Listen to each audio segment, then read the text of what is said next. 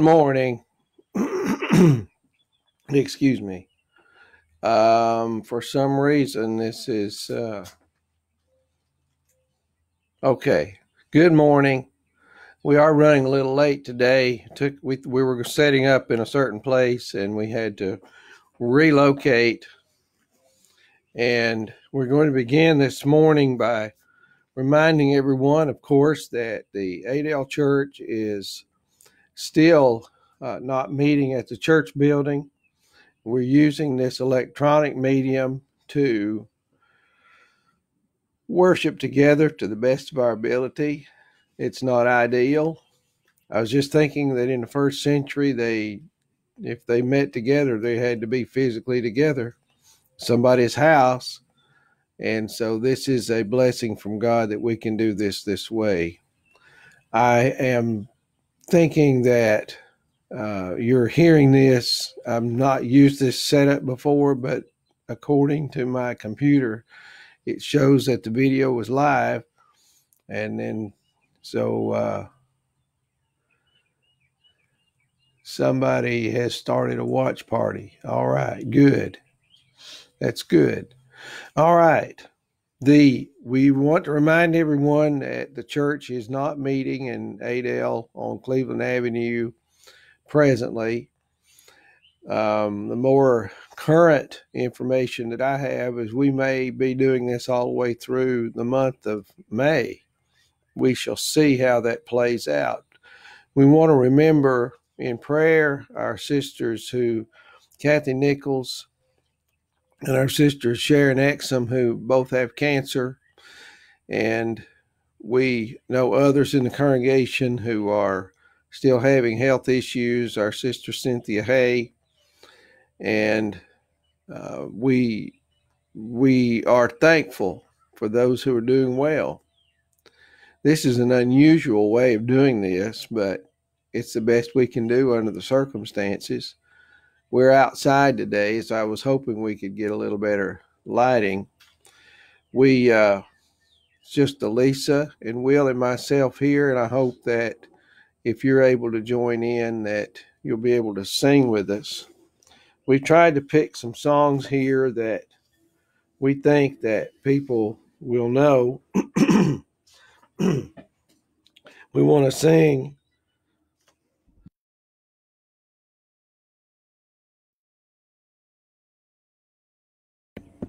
we want to sing it as well with my soul. If you have the book, it's 345. If you don't, it starts out when peace like a river.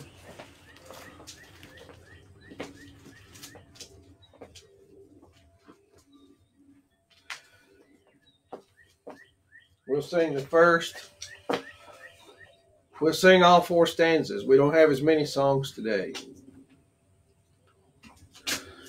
When peace like a river attendeth my way, when sorrows like sea billows roll, whatever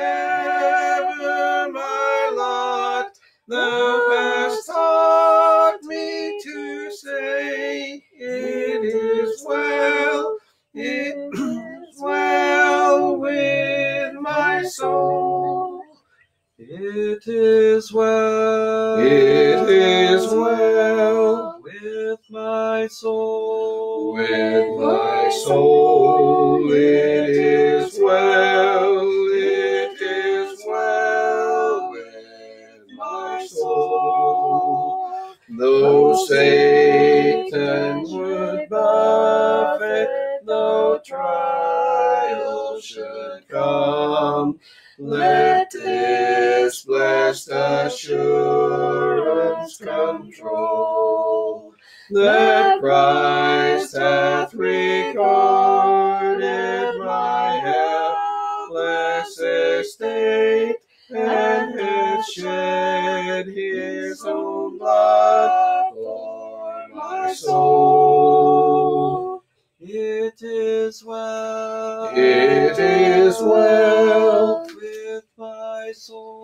With my soul.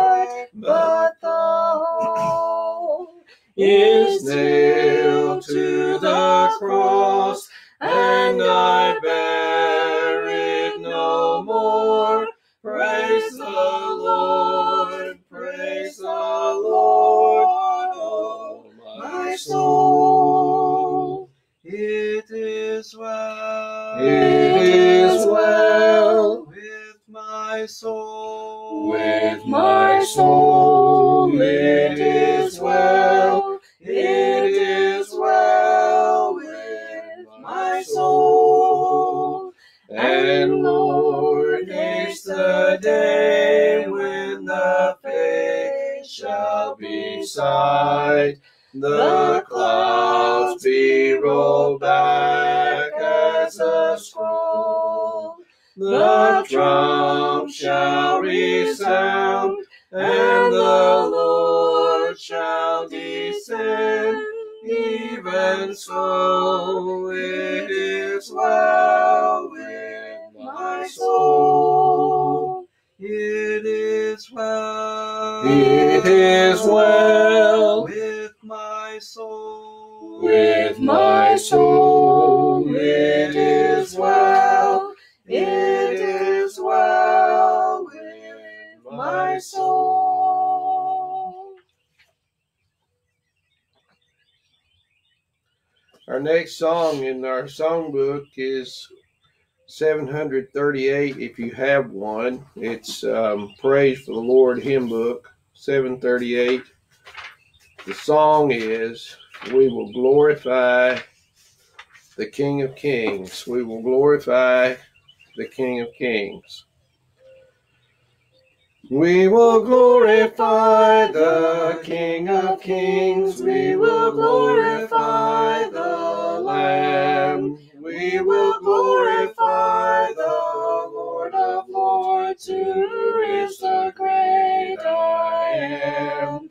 Lord Jehovah reigns in majesty. We will bow before his throne. We will worship him in righteousness. We will worship him alone. He is Lord of heaven, is Lord of all who live.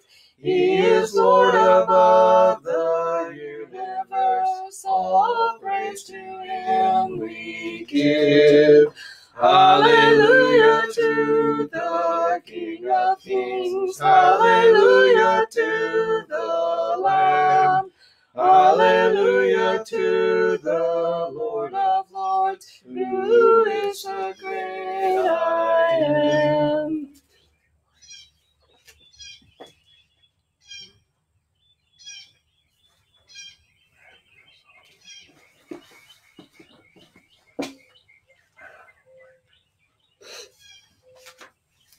After this song, we will have a prayer by Will Leonard, led by Will Leonard after this song.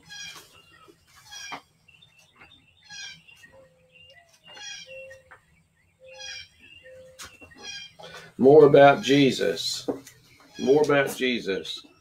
415 if you have the book. More about Jesus would I know, more of his grace to others show, more of his saving fullness see, more of his love who died for me. More, more about Jesus, more, more about Jesus, more of his saving fullness see, more of his love who died for me. More about Jesus, let me learn. More of his holy will discern. Spirit of God, my teacher be, showing the things of Christ to me. More, more about Jesus. More, more about Jesus. More of his saving fullness see. More of his love who died for me. More about Jesus and his word, holding communion with my Lord, hearing his voice in every line, making it faithful saying mine. More, more about Jesus, more, more about Jesus, more of his saving fullness. See, more of his love who died for me. More about Jesus on his throne, riches in glory all his own. More of his kingdom sure increase, more of his coming Prince of Peace. More, more about Jesus, more, more about Jesus, more of his saving fullness see, more of his love who died for me.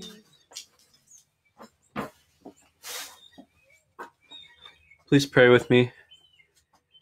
Dear Heavenly Father, we thank you for this day that you've given us. We thank you for allowing us to still worship you during these strange times.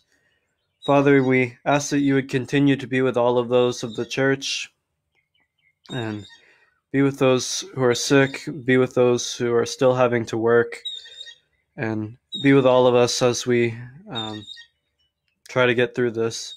Father, we ask that you would continue to be with uh, Sister Sharon Exum and also with Sister Kathy Nichols in their difficult times. And we ask that you would wrap your loving arms around them. Father, we thank you for all of our many blessings. We ask that you would help us to focus on them and to focus on you and to lean on you. Father, we ask that you would forgive us of our sins, and in Christ's name, amen.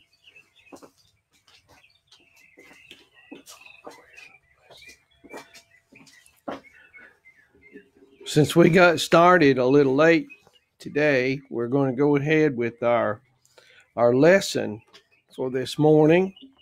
If you're able to see the bulletin on uh, the Facebook page, you know that our text is coming from 2 Corinthians chapter 4 verses 16 through 18.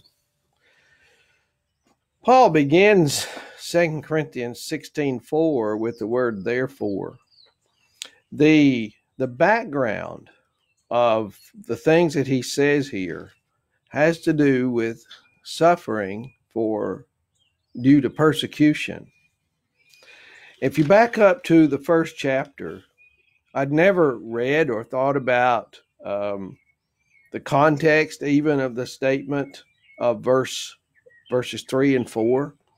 We often use verse four uh, for uh, funerals or when people die or someone's very, very ill. And he says in 2 Corinthians 1 and verse 3 Blessed be the God and Father of our Lord Jesus Christ, the Father of mercies and God of all comfort, who comforts us in all our affliction, so that we will be able to comfort those who are in any affliction with the comfort with which we ourselves are comforted by God. Then he goes on to say in verse 5 for just as the sufferings of Christ are ours in abundance, so also our comfort is abundant through Christ. But if we are afflicted, it is for your comfort and salvation. Or if we are comforted, it is for your comfort, which is effective in the patient enduring of the same sufferings which we also suffer. And our hope for you is firmly grounded, knowing that as you are sharers of our suffering, so also you are sharers of our comfort.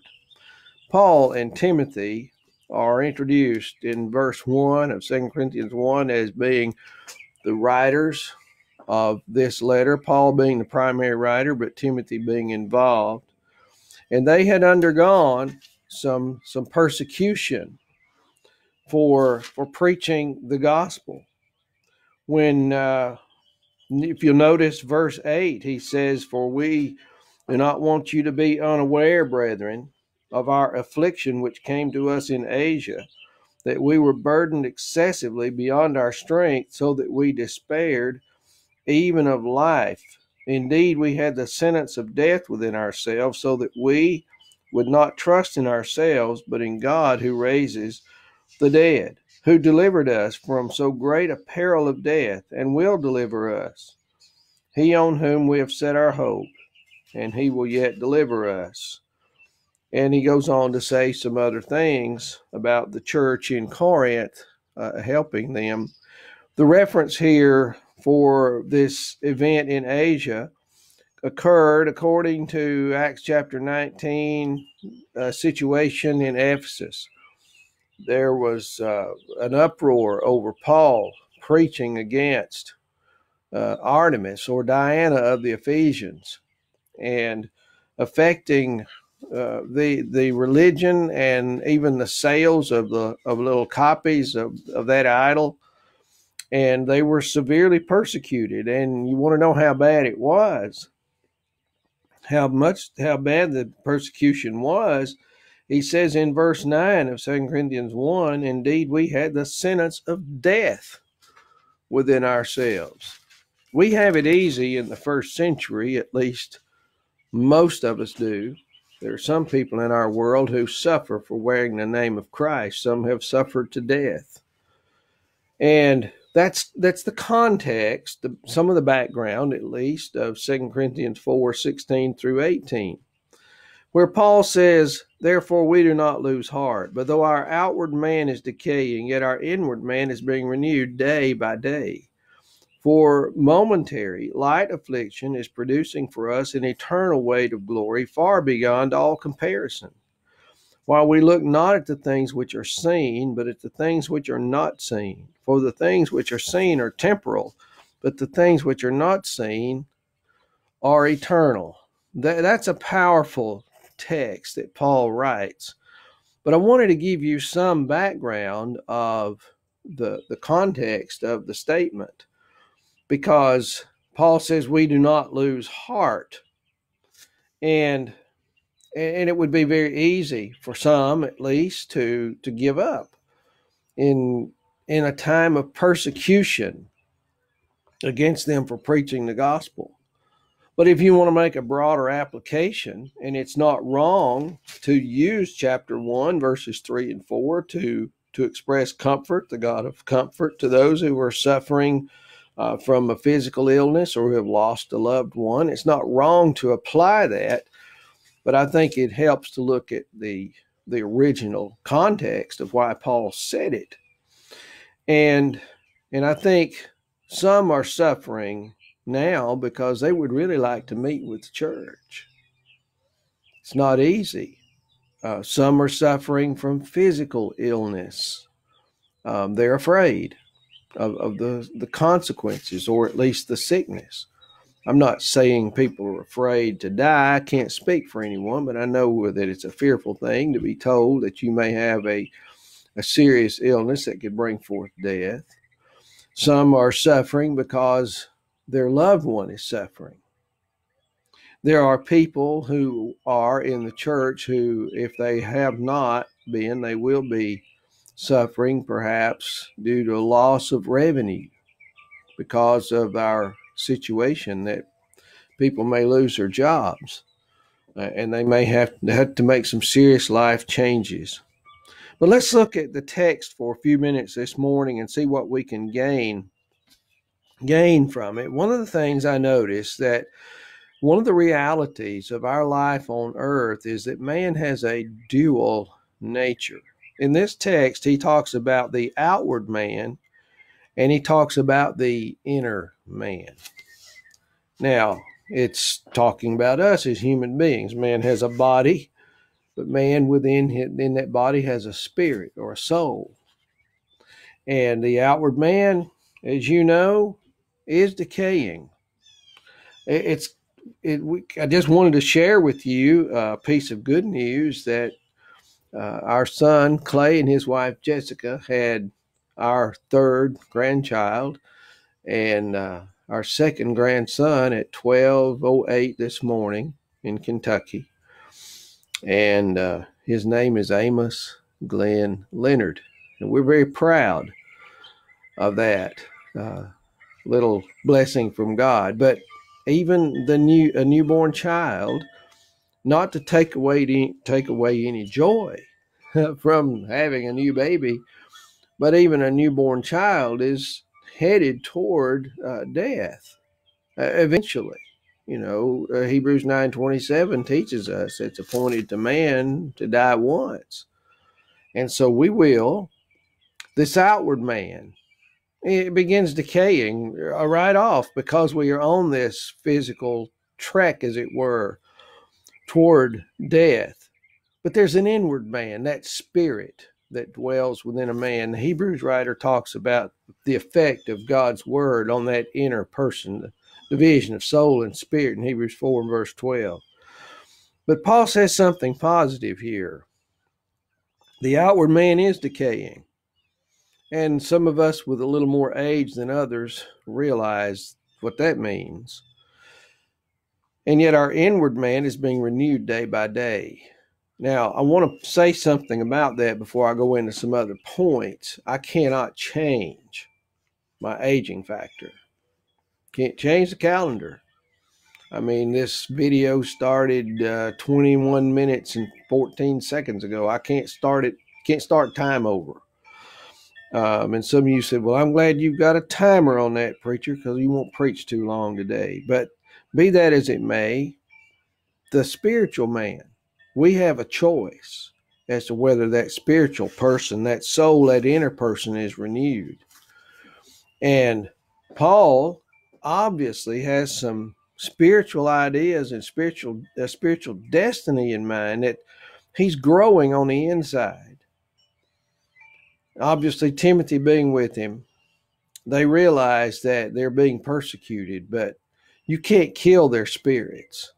You cannot stop their spiritual growth. They are allowing this persecution, this difficulty that they're facing, to help them to grow and mature spiritually. You know, when we face life's challenges, it makes it can make us better or worse. I don't think there's really any neutral. And I'm thinking myself how we need to work on allowing life to mold us and shape us into better people and not allowing circumstances to make us worse worse. But there's also something else here when he talks about this suffering. He says um, something in verse 17 about this suffering being momentary or temporary. And he calls it a light affliction. And it's producing for us an eternal weight of glory far beyond comparison.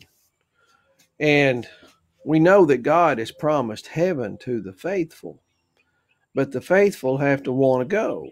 They have to decide what life circumstances are going to do to them and make the right choices in life. But it's interesting from from our perspective. Well, Paul and Timothy, you know, they were facing the very possibility of death. So they said, he said, chapter one, and some people have uh, serious complications with uh, treatment for cancer or or other physical maladies. And how can you say it's light, Paul?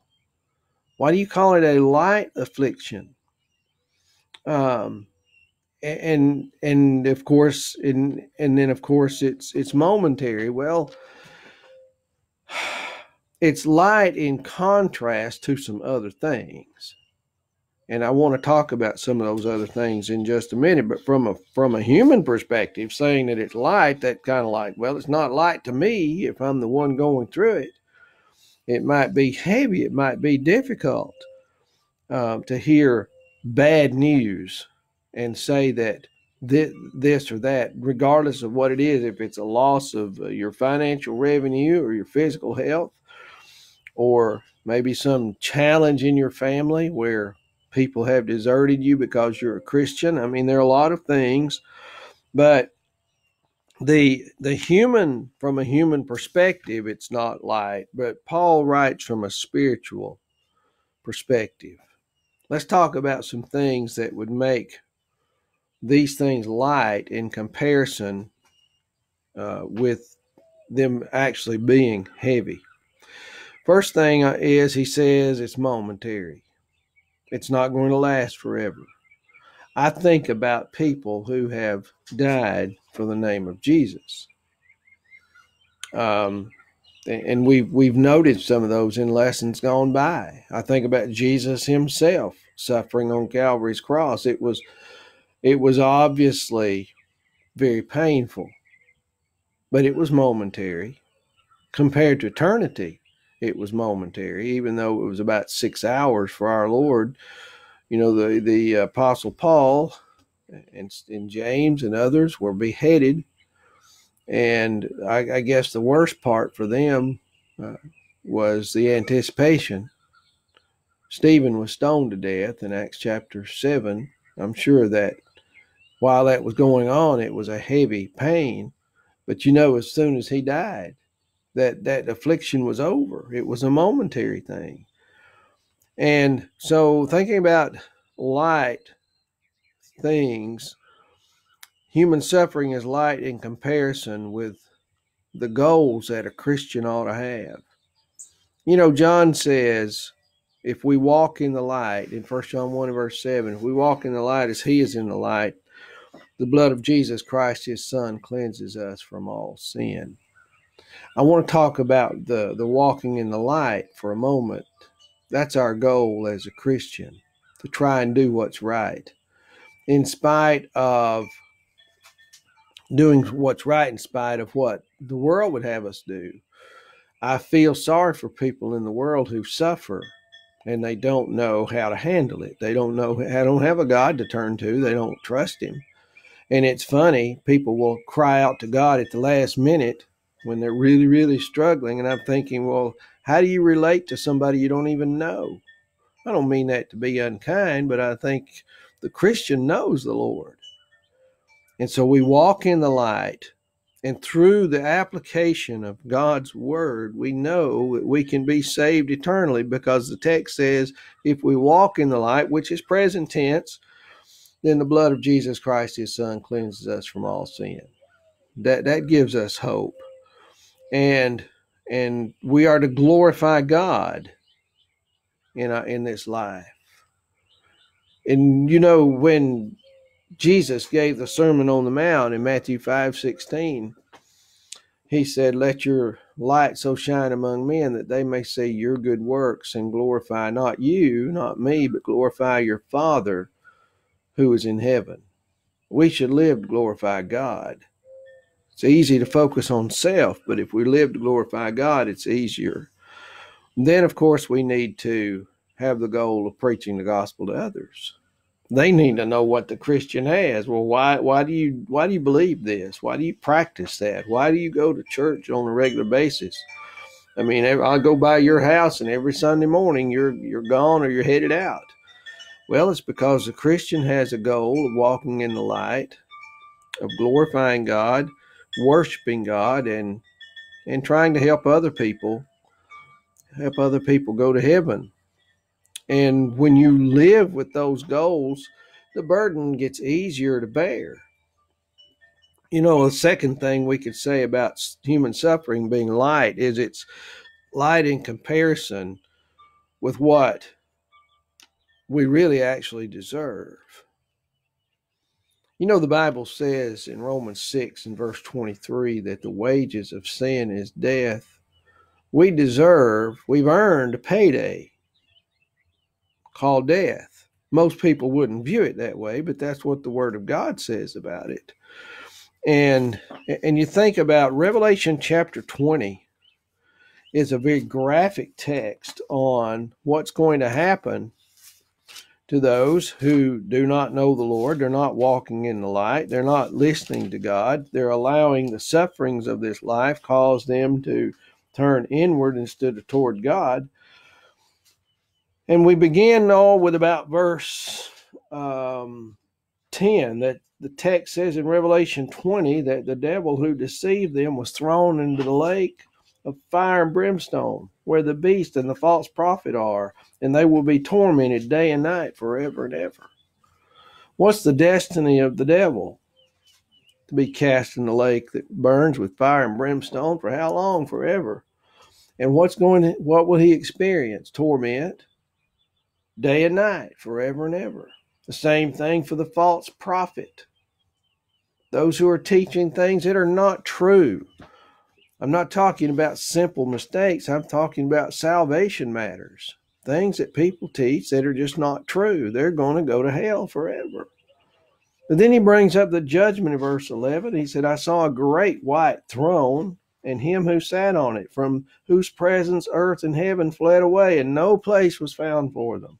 And I saw the dead, the great and the small, standing before the throne. And the books were open. And another book was opened, which is the book of life. And the dead were judged from the things which were written in the books according to their deeds. Now, precious people, we have a copy of the book. One of the books is the Bible. It tells us what to do to prepare for this day. He says, And the sea gave up the dead which were in it, and death and Hades gave up the dead which were in them, and they were judged, every one of them, according to their deeds or their works. Then death and Hades were thrown into the lake of fire. This is the second death, the lake of fire. Now, if you go back up here in verse 10, how long will it last? Forever and ever. It's not a, an annihilation, as some teach. And who's going to be there? The devil, the beast, false prophet. And down here, we see in verse 15 of Revelation 20, and if anyone's name was not found written in the book of life, he was thrown into the lake of fire. Now, that's a very serious and sobering statement people think that it's rough uh, to be sick. It can be. It's rough to lose your job and go without money for a while. Yes, it can be. It's rough to go to jail for uh, certain things that a person may do that cause them to be put there. It's rough to, to be abused physically by a spouse or by a parent. Uh, life can be hard. But I'm going to tell you something harder. It's this right here.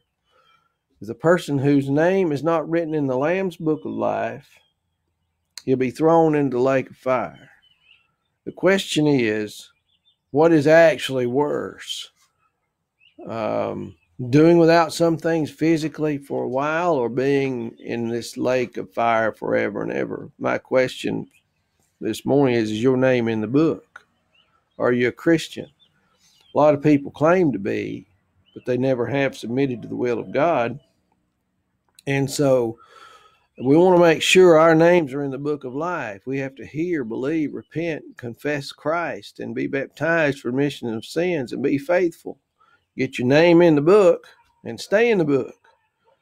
People are taking risks. You know, it's amazing to me. They're all concerned about masks and and the six foot distance and and and what this coronavirus can do if they contract it and think, well, if I get that, that I, I might die. Yeah, but then what? Well, we need to be ready. There's no suffering on this earth. People say, I went through hell. No, you didn't. Nothing compares with what we just read here. I don't like to throw that word around. It's a very serious thing. People shouldn't do that.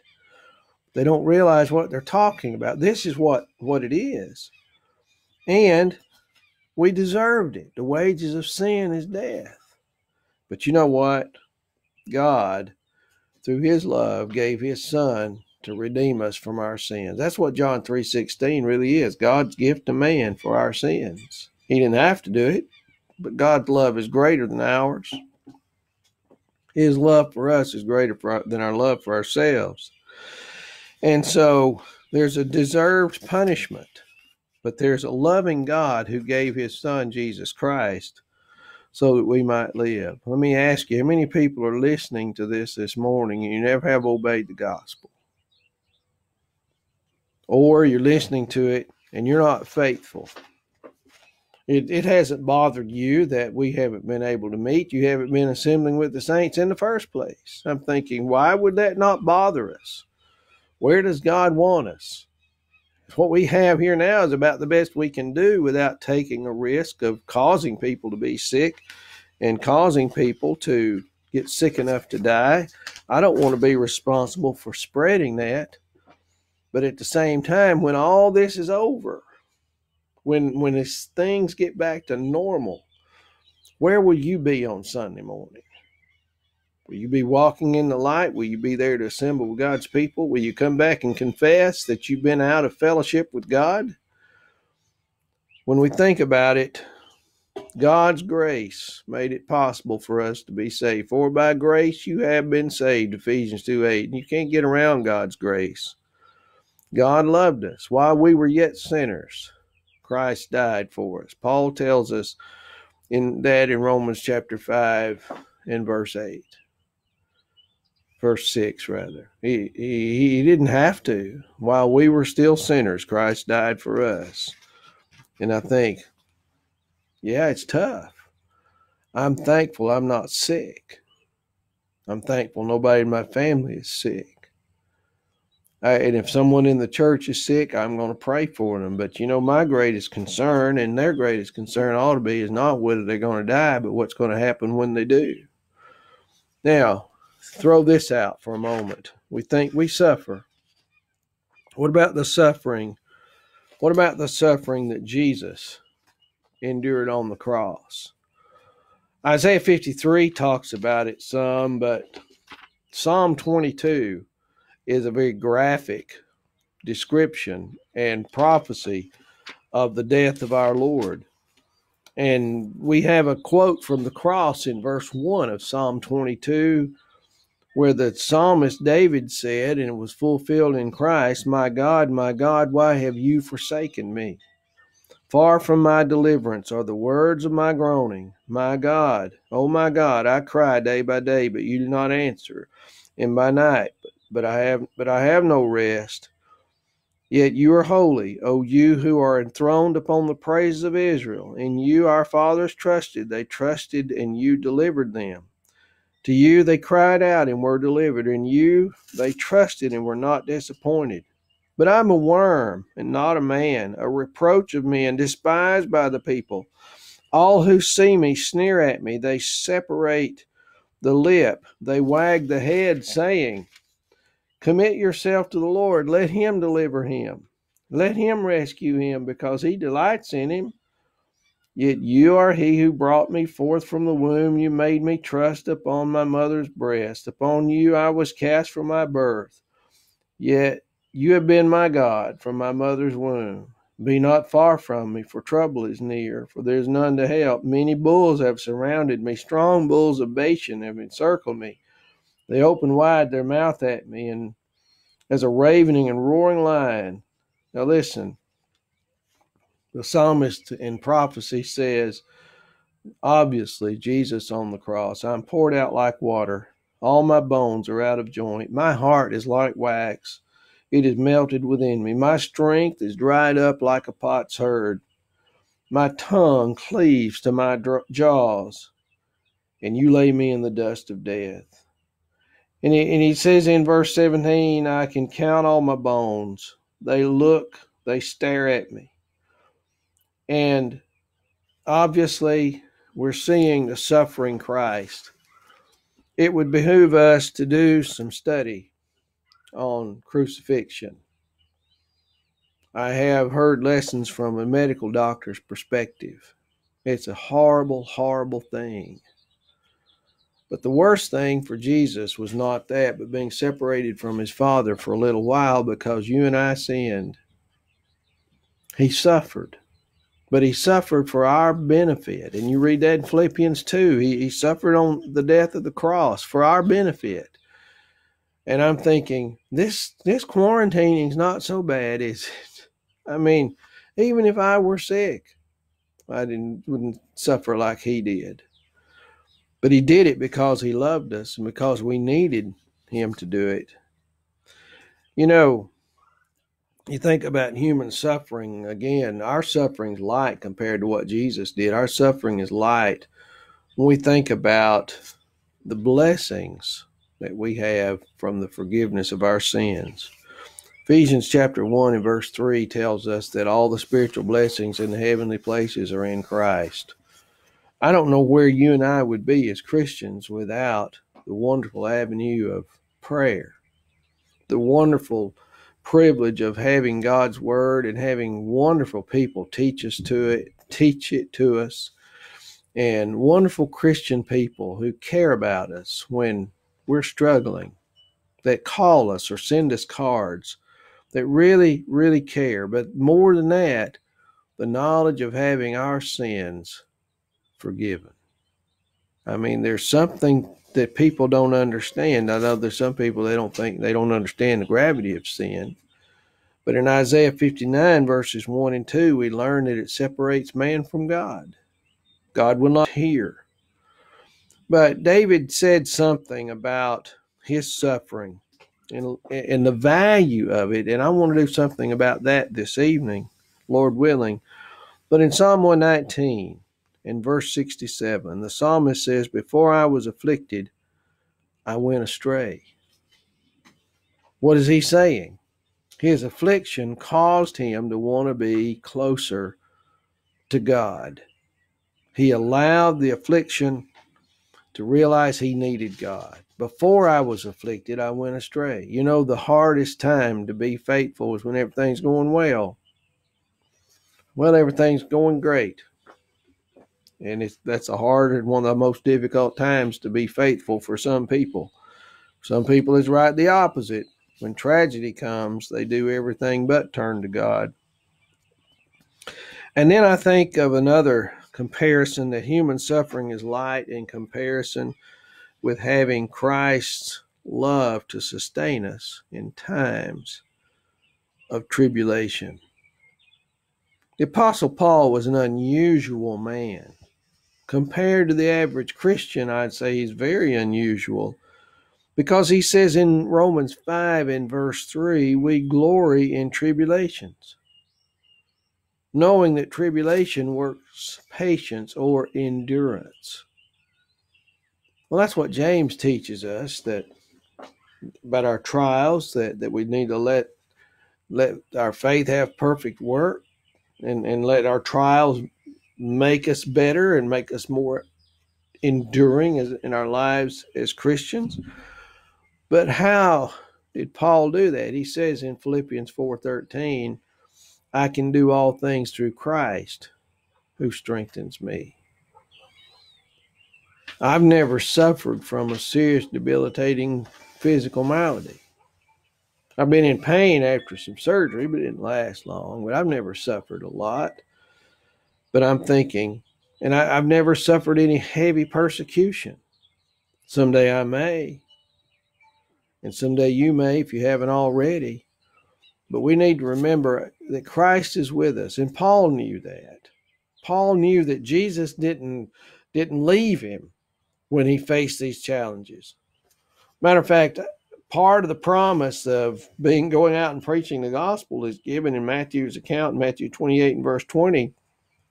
After he gives that Jesus gives that commission, he says, Jesus said, And lo, I'm with you always, even the end of the age. And I believe that this is part of it, that in Paul's during Paul's tribulations, the Lord was with him. In Psalm 9 and verse 9, the psalmist said, The Lord will be a refuge for the oppressed in times of trouble.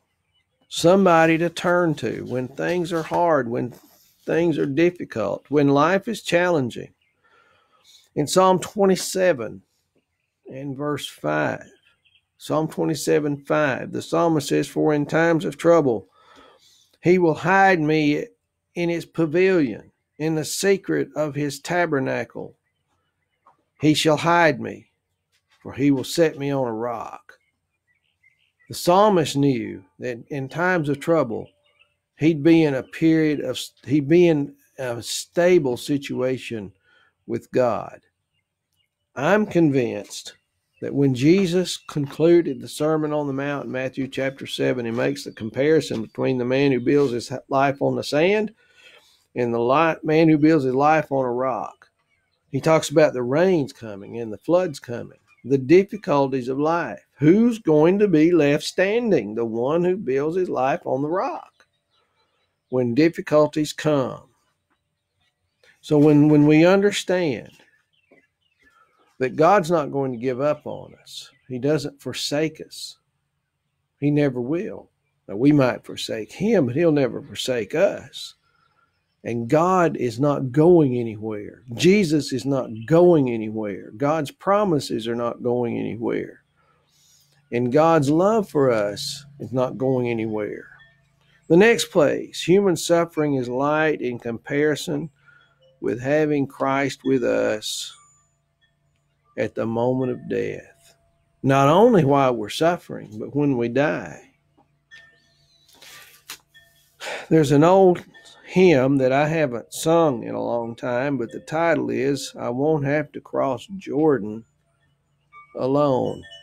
And it's it's a figure that has to do with death. You remember the psalmist in Psalm 23 and verse 4 though I even though I walk through the valley of the shadow of death you are with me the psalmist knew that at the time of his death that the Lord would be with him. In Luke chapter 16, there's a story told by Jesus about two men, what we call the rich man and Lazarus. We don't have a name for that rich man, but we have Lazarus, Lazarus's name.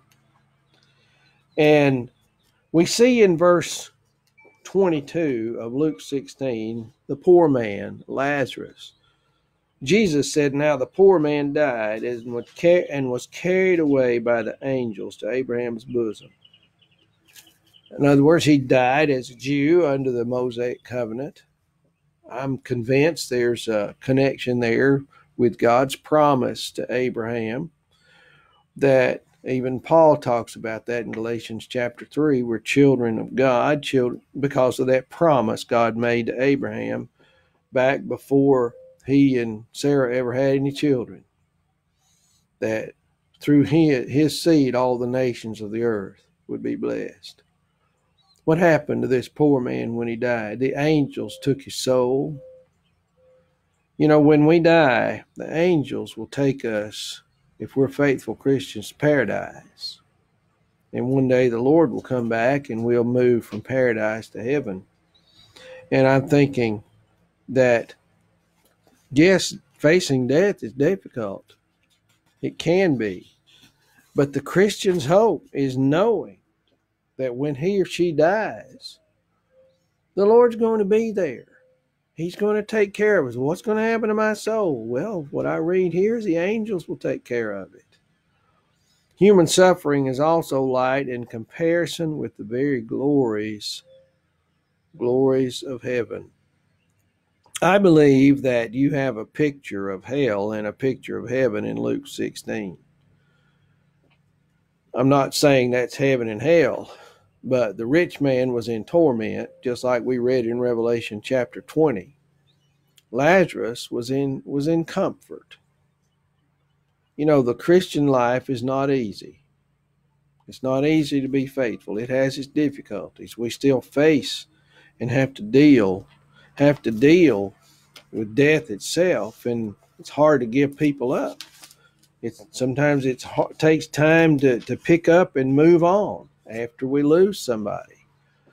But it won't, but with the hope that we have when we lose a faithful loved one is that while it's hard, the hope and the comfort we have is that we know that they went to be with the Lord.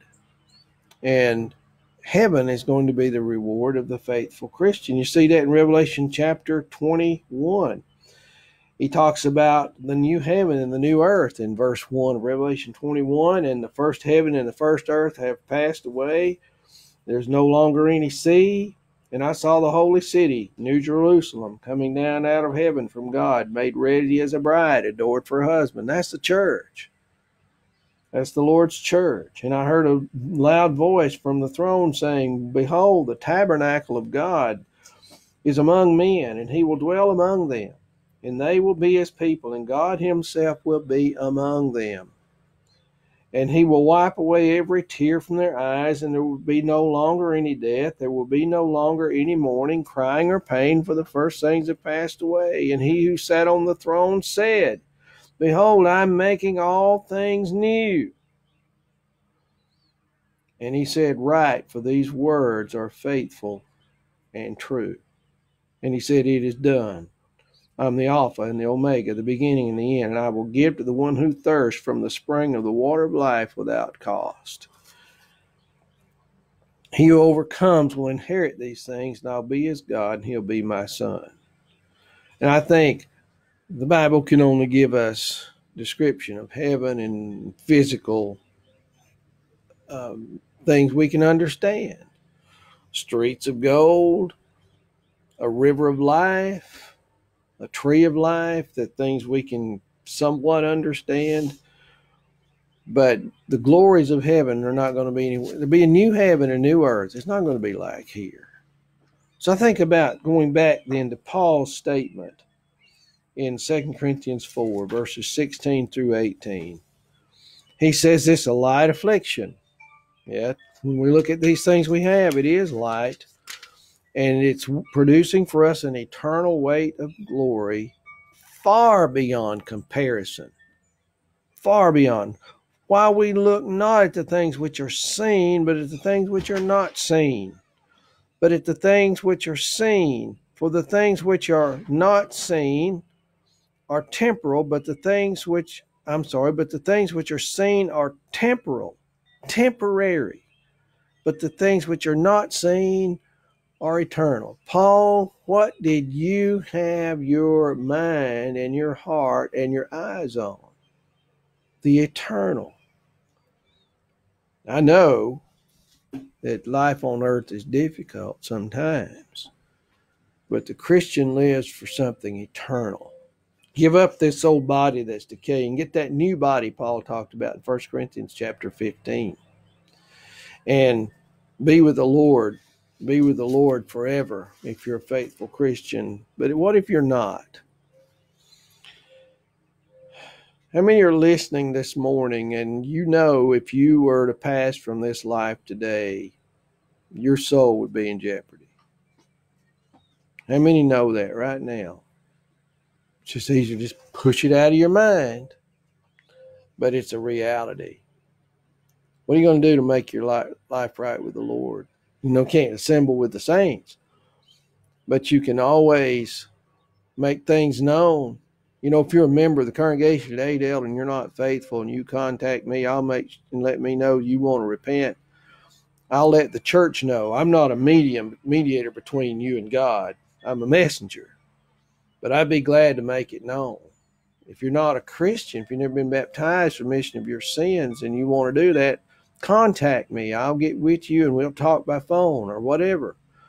And we'll make that happen. Because the spiritual part of man, that's the part that's eternal. Body's temporary. The spiritual part of man is eternal. This morning, uh, as we bring this meeting to a conclusion, you can hear mowers running and birds singing and such. We're going to do the best we can we want to share with you if you want to get yourself in the frame of mind to participate in the Lord's Supper as a Christian. If you have your emblems with you, you'll need your bread, you'll need your fruit of the vine, and we're going to give you uh, about about 60 seconds here to get get yourself ready if you have have those things and uh, and just give us about 60 seconds and then we'll get back together and begin our uh, worship in the Lord's Supper. Our neighbor's mowing, can't control that, uh, but we'll do the best we can.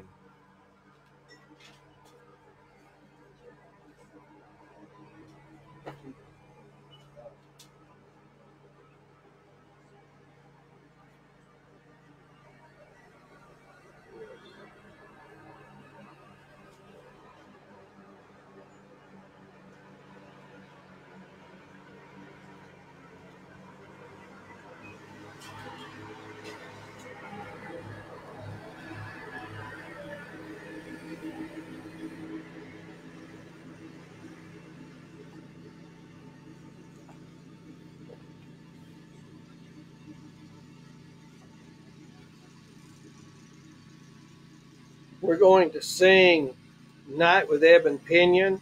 In our books, it's 452, Night with Ebon Pinion. uh, Night of the Dark, dark Wing if you want to interpret the meaning of, the, of that phrase. Night with ebon pinion brooded o'er the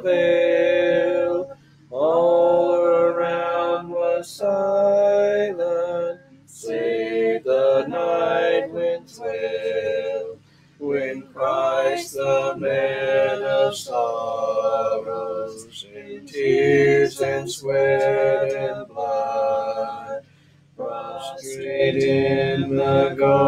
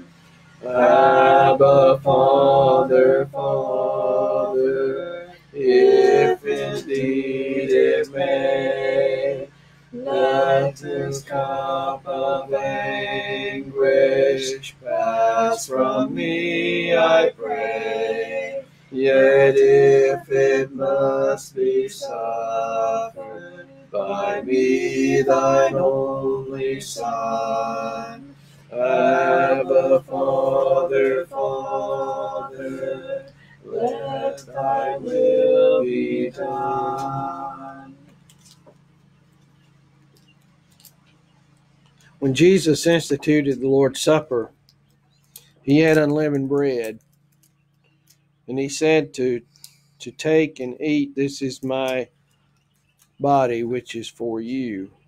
This unleavened bread represents the body, the suffering body of our Lord and Savior Jesus Christ. And as Christians, on the first day of the week, we remember that death through this medium of the Lord's Supper and this unleavened bread. Let us pray. Father, thank you for this bread, which represents the body of your Son and our Savior, who so lovingly and willingly gave himself for us, that we might have the forgiveness of our sins. In him we pray and amen.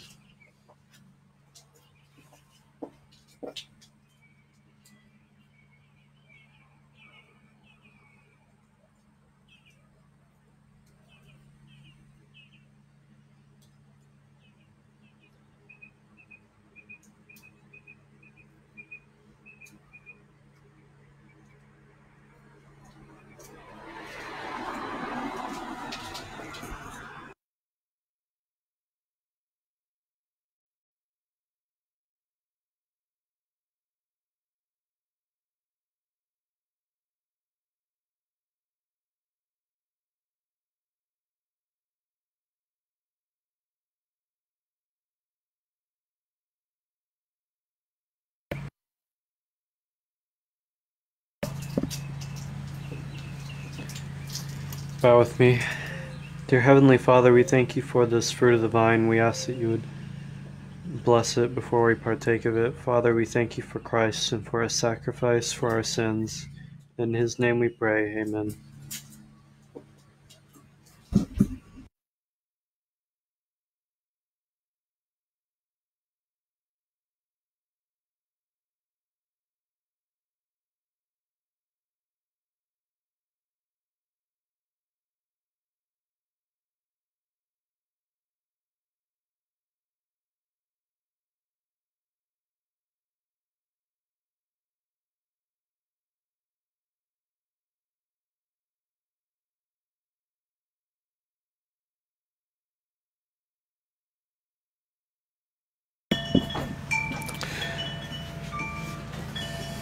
We want to thank the Lord for this privilege we've had this morning to assemble and any who have joined in. We will conclude here with uh, one more song, and then we'll conclude our session for the day. This evening at 5 o'clock, Lord willing, I'll have another lesson along these same lines, maybe a little different setting, but it will be along these same lines. We're going to sing Love Lifted Me. Love Lifted Me, 421 in the book, 421. If you have a book, Love Lifted Me. I was sinking deep in sin, far from the peaceful shore, very deeply stained within, sinking to rise no more. But the master of the sea heard my despairing cry. From the waters lifted me, now safe am I. Love lifted me, love lifted even me. When nothing else could help, love lifted me. Love lifted even me. Love lifted even me. When nothing else could help, love lifted me. All my heart to him I give, ever to him I'll cling. In his blessed presence live, ever his praises sing. Love so mighty and so true merits my soul's best songs. Faithful, loving service due to him belongs. Love lifted even me, love lifted even me. When nothing else could help, love lifted me. Love lifted even me, love lifted even me. When nothing else could help, love lifted. Souls in danger look above, Jesus completely saves. He will lift you by his love out of the angry waves. He's the master of the sea, billows his will obey. He, your Savior, wants to be, be saved today. Love lifted even me, love lifted even me. When nothing else could help, love lifted me, love lifted me. Love lifted even me when nothing else could help.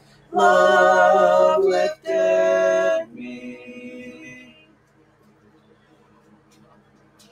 Again, we will. Uh, I'll have another lesson this evening at five o'clock, and also I will upload this lesson to YouTube for any who are not able to uh, view this. And Wednesday evening, I'll also be doing another lesson like I did last week. Hope y'all have a great rest of the day. As soon as this mower passes, I'll dismiss us in prayer.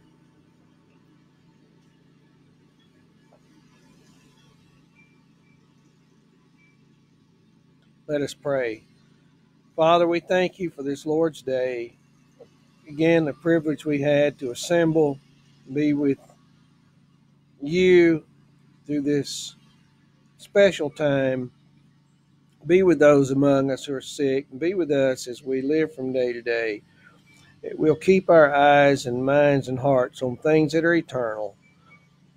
And we pray your blessings on this nation that this this virus can bring us as a people closer to you.